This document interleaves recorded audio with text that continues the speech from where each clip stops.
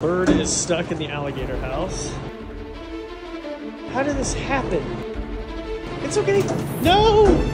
Oh, he's so scared. Don't get eaten by chompers.